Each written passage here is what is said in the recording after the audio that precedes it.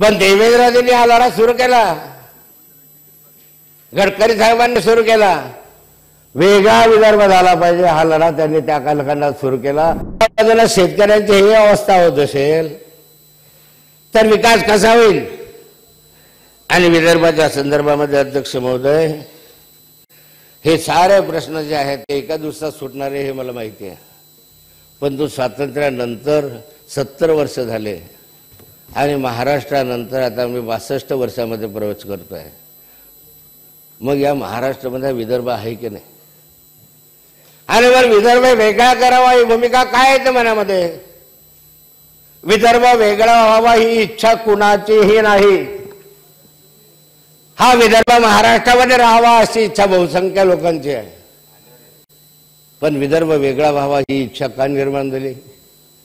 विदर्भावर सातत्याने अन्याय झाला.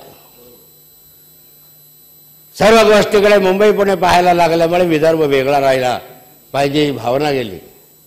मी परत सांगत नाही देवेंद्रजींचं ते वाक्य. पण देवेंद्रजींनी हा लढा सुरू केला.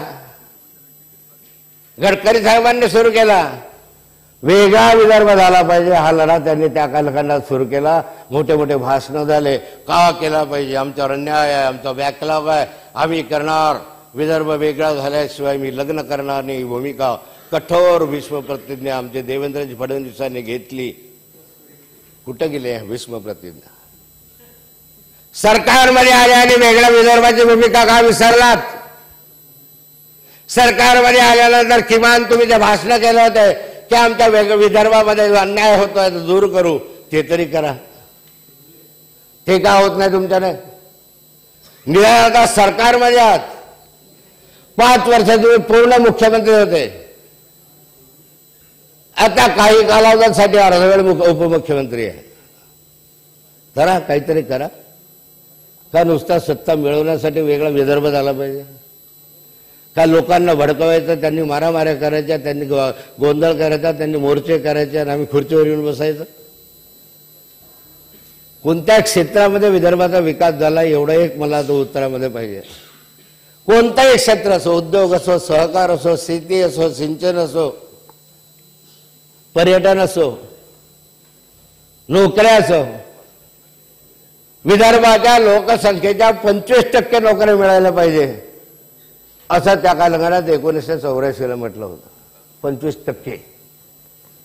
कुठल्या विदर्भामध्ये नोकऱ्या? पोलिसांच्या नोकर प्राधान्य देऊ असं सांगितलं होतं. कुठं प्राधान्य आहे पोलिसांमध्ये? रोजगारही उपलब्ध नाही नोकऱ्याही उपलब्ध नाही. शेवटी तरुणांनी करायचं काय? मग हा तरुण शेवटी नक्षलवादी झाला गडचिरोलीकडे वळला तर त्याला आश्चर्य वाटण्याचं कारण नाही आहे. तुम्ही काहीच देणार नाही कर्जही उपलब्ध करून देणार नाही. तुम्ही त्याला कर्ज उपलब्ध करून व्यवसायही देणार नाही रोजगारही देणार नाही त्याला ठिकाणी नोकरी देणार नाही करायचं काय? मग विदर्भ कसा पुढे जाईल?